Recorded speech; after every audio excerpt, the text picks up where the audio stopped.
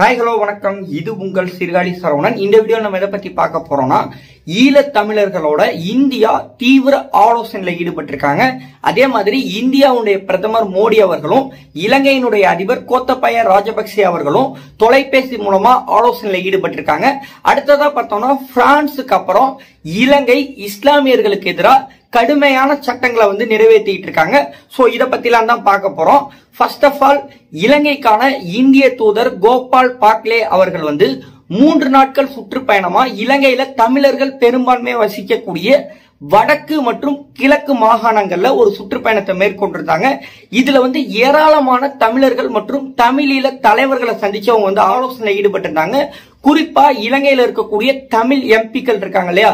அவங்க எல்லாரையும் யாழ்ப்பாணத்துல சந்திச்சு ஒரு மணி நேரத்துக்கு மேல ஆலோசிச்சதாகவும் இந்த ஆலோசனையில வந்து அங்கிருக்கக்கூடிய தமிழ் மக்கள் தரப்புல இருந்து தமிழர்கள் வசிக்கக்கூடிய பகுதிகளில் இந்தியா வளர்ச்சி திட்டங்களை மேற்கொள்ளணும் அப்படிங்கிற மாதிரியும் அதே மாதிரி தமிழர்களுக்கான சம உரிமையை இலங்கை வழங்குறதுக்காக இந்தியா வந்து நிர்பந்திக்கணும் அப்படிங்கிற மாதிரியும் மேலும் இலங்கை அரசியலமைப்பினுடைய பதிமூணாவது சட்டப்பிரிவை அமல்படுத்தி தமிழர்களுக்கான சம உரிமையை கொண்டு வரணும் அப்படிங்கிற மாதிரி பல்வேறு கோரிக்கைகளை இலங்கைக்கான இந்திய தூதர்கிட்ட இந்த மக்கள் வந்து கேட்டுக்கிட்டதாகவும் சொல்லியிருந்தாங்க இதையடுத்து இந்த கோரிக்கைகளை நிறைவேற்றுறதுக்கு இந்தியா துணை நிற்கும் அப்படிங்கிற மாதிரி இலங்கைக்கான இந்திய தூதர் கோபால் பாக்லே அவர்கள் வந்து அறிவிச்சிருந்தாங்க.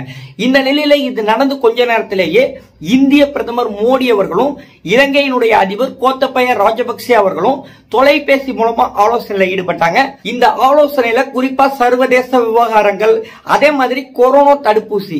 இந்தியா தரப்புல இருந்து இலங்கைக்கு மேலும் ஐந்து லட்சம் எண்ணிக்கையிலான அந்த கோவிஷீல்டு கொரோனா தடுப்பு மருந்துகளை வந்து இந்தியா வழங்க இருக்கிறாங்க. அதே மாதிரி இதுல வந்து இலங்கைக்கு வழிகாட்டும் வகையில இந்தியா துணை நிற்கும் அப்படிங்கிற மாதிரியும் சொல்லியிருந்தாங்க.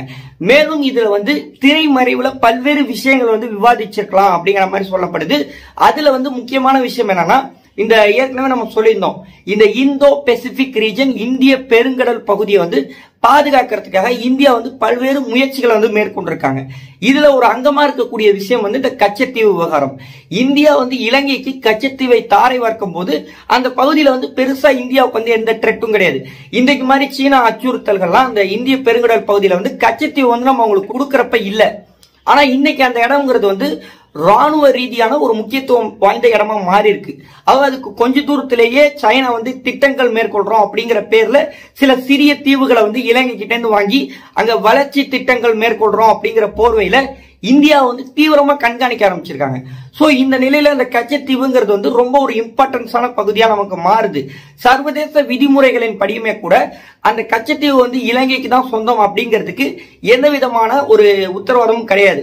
இந்தியா வந்து ஜஸ்ட் ஒரு அறிவிப்பு செஞ்சுட்டு கூட அந்த இடத்த வந்து கைப்பற்ற முடியும். சோ ஆனாலும் கூட இந்தியா என்ன நினைக்கிறாங்கன்னா இலங்கைக்கு இந்தியாவுக்கு இடையில வந்து ஒரு நீண்ட கால ஒரு திட்டமிடல் இருக்கு. இந்தியா வந்து ஸ்ட்ராங்கா சில விஷயங்களை வந்து இலங்கையில மேற்கொள்ளணும் அப்படின்னு நினைக்கிறாங்க. அது வந்து இலங்கை தமிழர்கள் விவகாரமா இருக்கலாம் கச்சத்தீவு விவகாரமா இருக்கலாம். அங்கு இந்தியா மேற்கொள்ளக்கூடிய வளர்ச்சி திட்டங்களா இருக்கலாம். சோ அதனாலதான் இந்தியா வந்து ஒரு மென்மையான போக்கை கடைபிடிச்சு அங்க செய்ய வேண்டியதை செய்யணும் அப்படின்னு நினைக்கிறாங்க. சோ அதனாலதான் இது வந்து ஒரு நீண்ட கால திட்டமா இருக்கு. உடனே எதையும் இந்தியாவால செய்ய முடியல. அதே நேரத்துல இந்தியா தரப்புல இருந்து இலங்கையில வந்து பல்வேறு ரயில்வே திட்டங்களையும் மேற்கொண்டிருக்காங்க.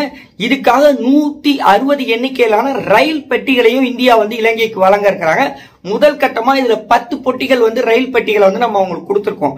சோ இதை இந்த திட்டங்களை வந்து விரைந்து செயல்படுத்துறது தொடர்பாகவும் இந்தியா மற்றும் இலங்கை இடையில பேச்சுவார்த்தை நடந்ததா இந்திய பிரதமர் மோடி அவர்கள் வந்து ட்விட்டர்ல வந்து பதிவு செஞ்சிருந்தாங்க.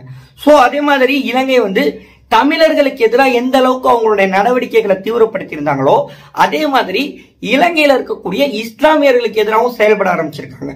உலக அளவுல வந்து பிரான்ஸ் பொறுத்த வரைக்கும் இஸ்லாமியர்களுக்கு எதிராக கடுமையான சட்ட திட்டங்களை வந்து அமல்படுத்தியிருந்தாங்க. இதுக்கு முக்கியமான காரணம் நமக்கு தெரிஞ்சிருக்கும். பிரான்சினுடைய பேராசிரியர் சாமுவேல் பெட்டி அவர்கள் வந்து கொடூரமா கொலை செய்யப்பட்டிருந்தாங்க. இந்த கொலையில வந்து இஸ்லாமிய தீவிரவாதிகள் வந்து ஈடுபட்டிருந்த வந்து பிரான்ஸ் உறுதிப்படுத்தியிருந்தாங்க. சோ இதையடுத்து பிரான்ஸ் வந்து கடுமையான சட்டங்களை கொண்டு வந்தாங்க. சோ அதே பாணியை பின்பற்றி இப்ப இலங்கையும் வந்து சில கடுமையான சட்ட திட்டங்களை வந்து இலங்கையில வந்து கொண்டு வந்திருக்காங்க. இதுக்காக இலங்கையினுடைய கேபினட்டும் வந்து ஒப்புதல் கொடுத்திருக்கு. இதுல முதல்ல இருக்கக்கூடிய விஷயம் என்னன்னா இலங்கையில பெண்கள் மற்றும் சிறுமிகள் குறிப்பா இஸ்லாமியர்கள் வந்து அந்த புர்கான் சொல்லிட்டு இந்த கருப்பு கலர்ல வந்து முகத்தை மூடிய இந்த உடை அணிஞ்சிட்டு வராங்க இல்லையா? சோ இதை வந்து இனிமேட்டுக்கு இலங்கையில அணியக்கூடாது. இலங்கையில புர்காவுக்கு வந்து தடை வச்சிருக்காங்க. இந்த தடையை வந்து வெளிப்படையா வந்து பிரஸ் மீட்ல சொன்னது யாருன்னா இலங்கையினுடைய பொதுமக்களுக்கான பாதுகாப்பு அமைச்சர் சரத் வீரசேகரா அவர்கள் வந்து இந்த விஷயத்தை தெரிவிச்சிருந்தாங்க. தேச பாதுகாப்புக்காகவும் சில ட்ரெட்ஸ்க்காகவும் இந்த சட்டத்தை வந்து நாங்கள் கொண்டு வரோம். மேலும் வந்து இலங்கையில இருக்கக்கூடிய அந்த முஸ்லிம் மதரசாக்கள் இருக்கு இல்லையா இதையும் வந்து பேன் பண்றதாகவும் இலங்கை அறிவிச்சிருக்காங்க. இலங்கை அரசுடைய இத்தகைய நடவடிக்கைகள் பொறுத்த வரைக்கும் தமிழர்களுக்கு எதிராக அவங்க எந்த மாதிரிலாம் செயல்பட்டாங்களோ அதே மாதிரியே இலங்கையில இருக்கக்கூடிய சிங்களர்கள் அல்லாத மற்ற சிறுபான்மையினர்களுக்கு எதிராகவும் அவங்களுடைய நடவடிக்கையை தீவிரப்படுத்த ஆரம்பிச்சிருக்காங்க. அதனுடைய ஒரு பகுதி தான் இது அப்படிங்கிற மாதிரி சொல்லப்படுது. ஸோ இதான் இந்த ஒரு பதிவில் நான் சொல்ல வந்த விஷயம். இதை பத்தி நீங்க என்ன நினைக்கிறீங்க அப்படிங்கிற உங்களுடைய கருத்துக்கள் அவசியம் பதிவு பண்ணுங்க. இந்த வீடியோ உங்களுக்கு பிடிச்சிருந்தனா உங்களுடைய நண்பர்களுக்கும் மறக்காம ஷேர் பண்ணுங்க சப்ஸ்கிரைப் பண்ணுங்க. பெல் ஐக்கான் பிரஸ் பண்ணுங்க சப்போர்ட் பண்ணுங்க. தேங்க்யூ ஃபார் வாட்சிங் ஜெய்ஹிந்த்